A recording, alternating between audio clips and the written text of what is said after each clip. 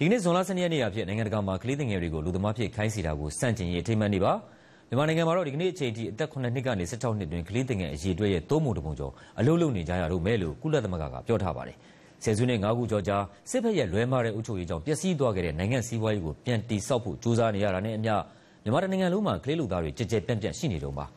မဖြစ်မနေလှုပ်လှုပ်ကြရတဲ့ကလေးငယ်အရေးအတွက်ကိုရှော့ချဖို့လှုံ့ဆော်ချက်တွေမှာတိုးတက်မှုတွေရှိပေမဲ့လည်းကလေးလူသားတွေအဆိုးအဆုံးပုံစံနဲ့လုပ်နေကြရတာကိုတိုက်ဖြတ်ဖို့ကတော့အများကြီးလို့ရအောင်မယ်လို့အပြည်ပြည်ဆိုင်ရာလူသမားအဖွဲ့ ILO ကပြောထားပါတယ်။2000ပြည့်နှစ်ကတည်းကဆိုရင်ကလေးလူသားအရေးအတွက်ဟာသုံးပုံတစ်ပုံလျော့ကျသွားပြီး2012ခုနှစ်မှာ168တန်းပဲရှိတော့တယ်လို့ ILO ကအစီရင်ခံထားပါတယ်။မဖြစ်မနေလှုပ်လှုပ်ကြရတဲ့ကလေးငယ်တွေမှာဘေးအန္တရာယ်နဲ့ကြုံရနိုင်တယ်ဆိုတာကိုလူတွေပိုသတိပြုမိလာကြပြီး အထူးသဖြင့်တော့စိုက်ပျိုးရေး၊သတ္တုတွင်းနဲ့အိမ်အကူအလုပ်တွေလိုဘေးအန္တရာယ်ရှိတဲ့လုပ်ငန်းခွင်တွေမှာလုပ်နေကြတဲ့ကလေးတွေရဲ့အခြေအနေပဲဖြစ်ပါတယ်လို့ ILO ကျွမ်းကျင်သူတွေကပြောထားပါတယ်။